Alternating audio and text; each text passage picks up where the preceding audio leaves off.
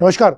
मेरे आज का जो सेशन है क्लास नाइन्थ में जो बच्चे हैं, जो पढ़ रहे हैं, और उनके पेरेंट्स के लिए सेशन है। ऑलरेडी मैं बच्चों से बात कर चुका हूँ, लेकिन सब पेरेंट्स को एक साथ इकट्ठा करना मुश्किल था, इसलिए मैंने नाइन्थ का जो सेशन है रिकॉर्डेड मैं आपको दे रहा हूँ। देखिए, ये अभी जो बच्चे क्लास नाइन्थ में पढ़ रहे हैं, अगर हम उनकी एक अकेडमिक लाइफ को देखते हैं नेक्स्ट फोर ईयर्स वो क्या करने वाले अभी हम दिसंबर बाईस में बैठे हुए हैं, और बच्चा अभी क्लास नाइन्थ में पढ़ रहा है। मार्च दो हज़ार तेईस में उसकी बोर्ड के क्लास नाइन के एग्ज़ाम खत्म हो जाएँगे, यानी कि क्लास नाइन्थ उसका खत्म हो चुका होगा। अप्रैल 2023 में उस बच्चे का टेंथ स्टार्ट हो चुका होगा। सिमिलरली अप्रैल मार्च 2024 में उस बच्चे का टेंथ भी खत्म हो चुका होगा। और अगर अप्रैल 2024 की बात करते हैं तो इलेवंथ स्टार्ट हो चुका होगा। मार्च 2025 की बात करते हैं तो इलेवंथ खत्म हो चुका होगा। और अगर हम अप्रैल 2025 की बात करते हैं तो ट्वेल्थ स्टार्ट हो चुका होगा। और अगर हम अप्रैल, मार्च 2026 की बात करें तो यहाँ पर आता आते बच्चे का ट्वेल्थ का बोर्ड खत्म हो चुका होगा। हालाँकि इससे पहले एक और बहुत इंपॉर्टेंट टाइमलाइन है बच्चे की। वो है कि जनवरी में उस बच्चे का जेई मेन का एग्ज़ाम आएगा यहाँ पर, जनवरी 2026 के आसपास। और फिर मार्च में जब बोर्ड का एग्ज़ाम खत्म हो जाएगा, उसके बाद तो बच्चे के बहुत सारे एग्ज़ाम है, नीट के एनडीए के क्लैट के, जितने भी कॉम्पिटिशन एग्ज़ाम है सब इस समय।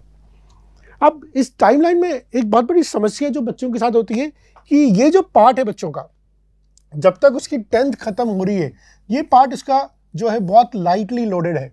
जबकि ये जो पार्ट है, ये बहुत हैवीली लोडेड है। यहाँ पर एकेडमिक कंटेंट बच्चे का बहुत कम है और यहाँ पर एकेडमिक कंटेंट बहुत ज़्यादा है।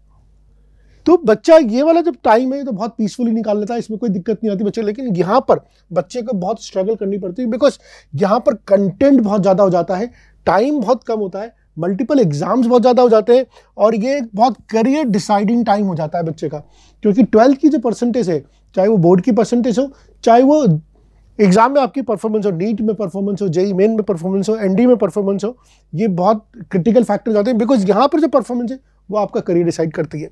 अब यहाँ पर बच्चे के साथ प्रॉब्लम क्या हो रही होती है? एक तो मैंने बताया कि सिलेबस सिलेबस एक बहुत बड़ी प्रॉब्लम है बच्चे की। सिलेबस बहुत वास्ट होता है। बच्चे का सिलेबस बहुत वास्ट होता है। दूसरी चीज़ होती है इलेवन ट्वेल्व की पढ़ाई के साथ साथ बच्चे का बैकलॉग कम कंपाइल होता जाता है। बैकलॉग पाइलअप होता जाता है बच्चे का। और बच्चे का जब बैकलॉग पाई पाइलअप हो जाता है तो उसके लिए अपने आप को मैनेज करना बहुत मुश्किल हो जाता है। थर्ड चीज़ है रिविज़न के लिए बिल्कुल समय नहीं मिलता। बच्चे को रिविज़न के लिए बिल्कुल समय नहीं मिलता। तो ये सारी प्रॉब्लम्स होती है जो बच्चे के पास यहाँ पर आती है। क्या, कैसे हम इस चीज़ को मिटिगेट कर सकते हैं? ओवर ए पीरियड ऑफ़ जो हमारा एक्सपीरियंस है कि हर बच्चा जो इलेवंथ में स्टार्टिंग करता है, यानी कि इलेवंथ में ये वाला जो फ़ेज़ होता है, ये बच्चे के लिए बड़ा क्रिटिकल होता है। जो बच्चा इलेवंथ में स्टार्टिंग कर रहा होता है, उसके लिए बड़ा मुश्किल होता है। तो हम कैसे इस फ़ेज़ को मिटिगेट कर सकते हैं। कैसे हम क्या क्या हम ऐसा कर सकते हैं जिससे कि बच्चे को थोड़ा बहुत इलेवंथ यहाँ पर स्टार्ट करा दी जाए और यहाँ पर बच्चा थोड़ा सा लाइट लोडेड हो जाए और साथ साथ में अप्रैल तक आते आते बच्चे के पास बहुत सारा टाइम हो रिविज़न का और बैकलॉग का। तो आइए एक, एक सॉल्यूशन हम यहाँ पर आपके साथ डिस्कस करते हैं जो हम बच्चे के साथ यहाँ पर हम ऑफ़र कर रहे हैं कि हम कैसे बच्चे के साथ इस टाइम पीरियड को एक बहुत इफ़ेक्टिव तरीके से हम यूज़ कर सकते हैं। जो बच्चे अभी नाइन्थ में पढ़ रहे हैं स्पेशली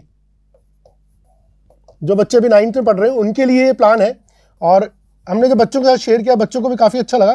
तो मुझे लगा एक बार पेरेंट्स से ही बात कर ली जाए बिकॉज़ आप लोगों को भी एक बार ये समझ में आना चाहिए कैसे प्लान है। देखिए what we plan to do is ninth में, अभी ये जो टाइम होगा, ये होगा करीब जनवरी 2023 का टाइम होगा, जिसमें हम बच्चे की नाइन्थ को ओवर कर दें। नाइन्थ क्लास को हम यहीं पर ओवर करते हैं बच्चे की। तो यहाँ पर जहाँ मार्च में नाइन्थ क्लास ओवर हो रही थी, वहाँ पर हम इसको जनवरी को ओवर कर दें और यहीं पर हम उसकी टेंथ क्लास को स्टार्ट कर दें। टेंथ को स्टार्ट कर दें। टेंथ को स्टार्ट करके हम मार्च 2023 तक बच्चे को टेंथ कराते हैं। यानी कि दो महीने में एक्सेलरेटेड प्रोग्राम के थ्रू बच्चे की टेंथ कराते हैं और अभी फोकस हम करते हैं पीसीएमबी के पर। फिजिक्स केमिस्ट्री मैथ्स और बायो के ऊपर फोकस करते हैं, जिसमें हम उसको टेंथ का एक बेसिक्स करवा दें। और जब यहाँ पर बच्चा अप्रैल में हमें दोबारा ज्वाइन कर रहा है जब यहाँ पर बच्चा हमें आ, यस जब यहाँ पर बच्चा हमें अप्रैल 2023 में वापस ज्वाइन करेगा और टेक्निकली बच्चे की टेंथ स्टार्ट होनी चाहिए थी। यहाँ पर बच्चे की टेंथ स्टार्ट हो रही है देखिए यहाँ पर लिखा हुआ है टेंथ बच्चे की स्टार्ट हो रही है। इस समय हम बच्चे की इलेवेंथ क्लास को स्टार्ट कर दें। तो डिफरेंस क्या है? अगर बच्चा नॉर्मल कोर्स में जा रहा है अगर बच्चा नॉर्मल कोर्स में जा रहा है तो हम बच्चे की यहाँ पर टेंथ स्टार्ट कर रहे हैं। लेकिन मैं यहाँ पर क्या बोल रहा हूँ आपसे? हम बच्चे की टेंथ स्टार्ट नहीं करके इलेवंथ स्टार्ट करते बिकॉज़ हमने दो महीने में बच्चे का फिजिक्स, केमिस्ट्री, मैथ्स, बायो तो यहीं करा दिया है। अब अगर हम यहाँ पर इलेवंथ स्टार्ट कर देते हैं, और यहाँ पर इलेवंथ स्टार्ट करने के बाद करीब करीब दिसंबर 2023 तक, यानी कि दिसंबर 2023 तक हम बच्चे की इलेवन चलाते हैं, और इसमें 70 परसेंट सिलेबस बच्चे का पूरा कर लेते हैं। तो 70 परसेंट अगर हम इलेवंथ का सिलेबस टेंथ में पूरा कर लिया तो ये एक बहुत बड़ा स्टेपिंग स्टोन हो जाएगा बच्चे के लिए बिकॉज़ वो जब इलेवंथ में एंटर करेगा, और उसकी जो बाकी पीयर ग्रुप जो सीधे इलेवंथ में एंटर करेंगे, उसके कंपैरिजन में इस बच्चे ने 70 परसेंट ऑलरेडी इलेवंथ का सिलेबस पूरा किया हुआ है।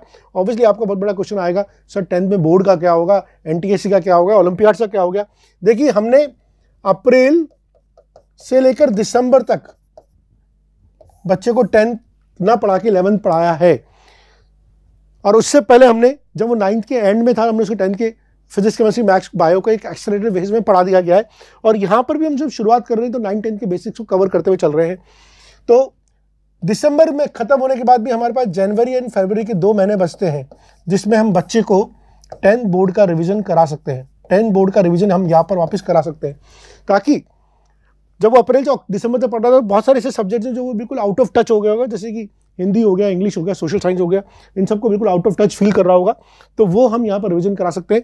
तो ये एक ऐसा फ़ेज़ होगा, जिसमें बच्चे को जो टेंथ का, जो लीनियन टाइम था जिसमें से बच्चा बोर्ड पढ़ रहा है स्कूल की स्टडीज़ कर रहा है, वहाँ पर हमने उसको थोड़ा सा स्ट्रेच करके उसका एलेवंथ का सेवेंटी परसेंट सिलेबस पूरा करा दिया। अब देखिए इसकी सबसे खास बात क्या होती है? जब बच्चा एक्चुअली में इलेवंथ में आता है अप्रैल 2024 में बच्चा इलेवंथ में आता है। जब बच्चा इलेवंथ में आता है, जो बाहर वाला बच्चा आएगा, वो बिल्कुल फ्रेश स्टार्ट करेगा। लेकिन आप, जैसे मान लीजिए, अगर यहाँ से यहाँ तक कि रे, यहाँ से यहाँ तक कि एक डिस्टेंस है एक्स किलोमीटर, जो आपको दो साल में चलनी थी, ठीक है? और आपको दो साल में चलनी थी, वहाँ पर इस बच्चे के लिए, इस बच्चे, वैसे ये दो साल में चलनी थी, ये ये, हमने इस एक्स को, हम तीन साल में चल रहे हैं।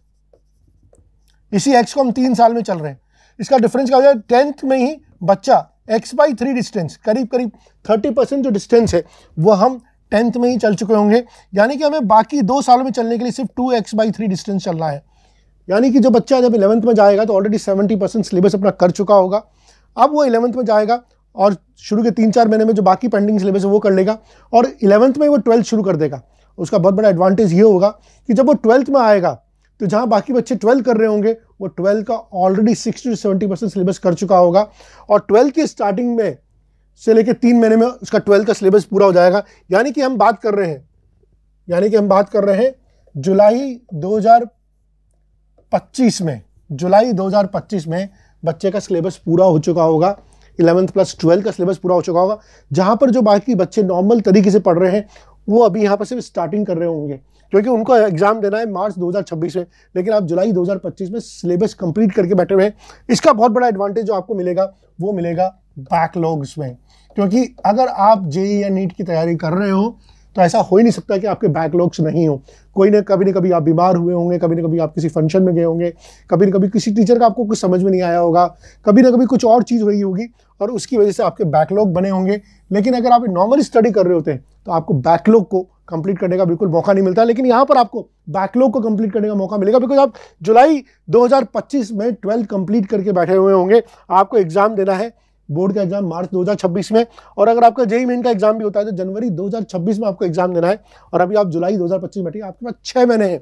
आपको बैकलॉग करना है, आप बैकलॉग को कंप्लीट कीजिए। आपको कोई टॉपिक आपका रिवीजन में करना है रिवीजन में करिए। आपको साथ में कोई और एग्ज़ाम की तैयारी करनी है, जैसे बहुत से बच्चे आते हैं, सर, हमें सेट का फॉर्म भरना है, आपको एन की तैयारी करनी है, आपको सी की एग्ज़ाम देना है। आप ये सब इस समय कर सकते हैं, लेकिन आपकी प्लानिंग आपकी जो आपकी जो तैयारी है वो नाइन्थ क्लास से स्टार्ट होनी चाहिए। अगर आप नाइन टेंथ को हल्के में लेते हैं और बिल्कुल मज़े मज़े में लेते हैं तो आप फिर इलेवन ट्वेल्थ में आप कंटिजेंसी को प्लान नहीं कर सकते। और ये मान के चलिए एवरेज बच्चे के साथ कंटिजेंसी होती है। उसके साथ रिविज़न का गेम होता है। उसके साथ बैकलॉग होता है और बहुत होता है। बहुत सारे बच्चे ऐसे होते हैं जिनका फिजिक्स में मान लीजिए पूरा पूरा मैकेनिक्स रह गया या इलेक्ट्रोस्टेटिक रह गया या हम केमिस्ट्री की बात करें तो कभी पूरा का पूरा ऑर्गेनिक चला जाता है, ठीक है। और अगर मैथमेटिक्स की बात करें तो कभी कभी पूरा का पूरा कॉनिक सेक्शन आपका चला जाता है, पूरी की पूरी कैलकुलस चली जाती है।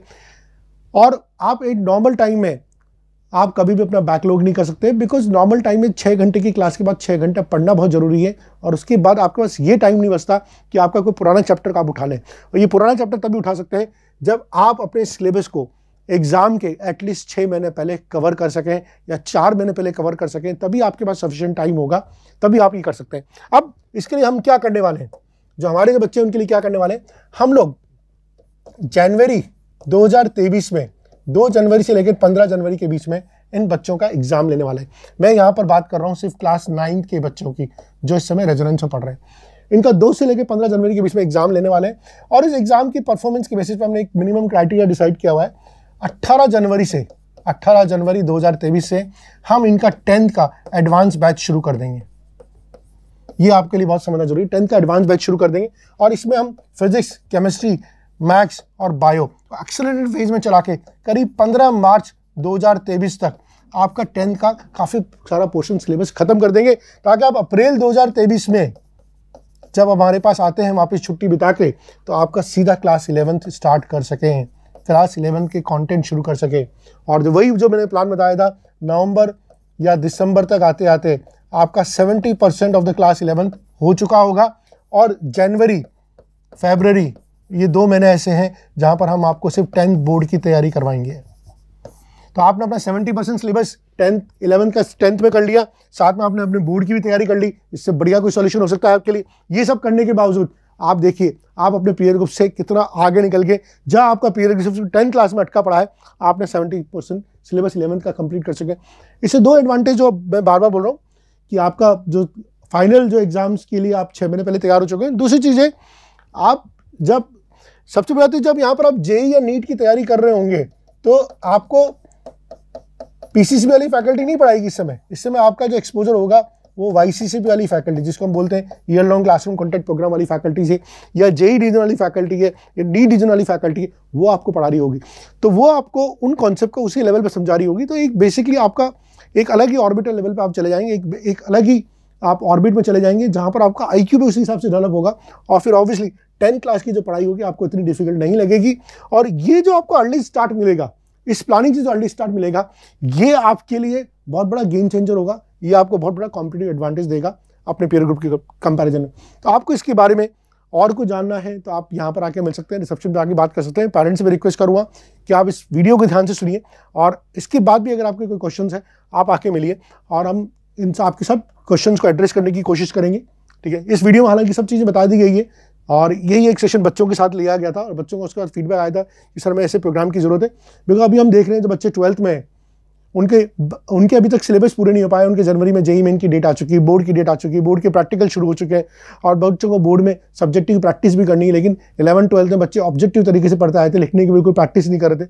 तो ट्वेल्थ में आता है तो बच्चा बड़ा पजल्ड हो जाता है बिकॉज़ उसका सिलेबस ही टाइम पर कंप्लीट नहीं हो पाता। लेकिन ये ऐसा प्रोग्राम है जो हम बच्चे को छः महीने पहले सिलेबस कंप्लीट कर देता है। तो आज तक हम जेई ऑब्लिक नीट में दो साल की बात कर रहे थे कि दो साल का सिलेबस होता है। लेकिन हम यहाँ पर आपके लिए थ्री ईयर सिलेबस लेके आए थ्री ईयर तो वही सिलेबस को हम तीन साल में करेंगे तो हम बहुत धीरे धीरे करेंगे, शांति से करेंगे और टाइम से पहले करेंगे और यही इसका यूएसपी है। अगर आपको जेई और नीट करना है, आपका सिलेबस टाइम पे हो जाना टाइम से पहले हो जाना चाहिए and that should leave ample of time for the revision so that's all if you have any question please do ask thank you